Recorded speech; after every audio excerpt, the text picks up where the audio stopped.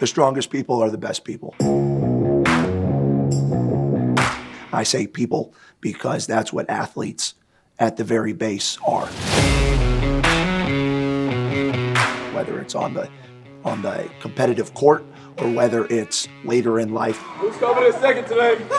We want to make sure that we're always competing. We create in our weight room environment based around competition, making sure that we always have a competitive mindset. And I got JJ Abu and Thomas sitting squarely in last. The program is the Strongman Challenge. It's based around five events. We separate that group, that team, into several groups, and we get to see now how are you going to respond when there's a the competition is on the line? Other people are getting to see what you're doing. Coaches are getting to see what you're doing, and then most importantly, your other teammates are trying to beat you, which is a unique circumstance.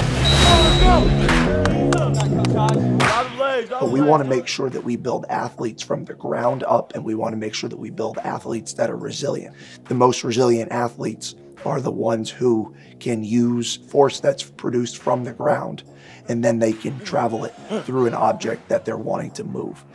And we want to make sure that with this strongman challenge, not only are we competing, but we're doing it with maximal intent. If we're going to flip a tire, we're going to flip it. We're going to flip it hard enough, fast enough to win.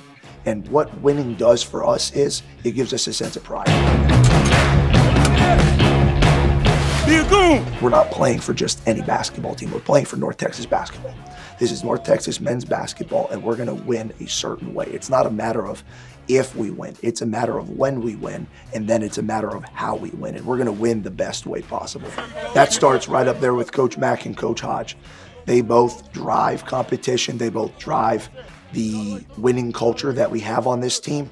Our staff believes very strongly in that collectiveness, in being a together oneness of our unit, uh, making sure that we all are on the same page and we all are fighting for the same overall goal at the end in March and April. In first place this week,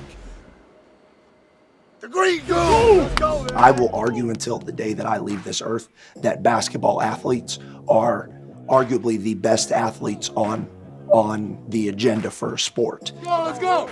The strongest in toughness, in the ability to be persistent and resilient, those often are the people who are the best in what they decide, what they want, what they decide to do.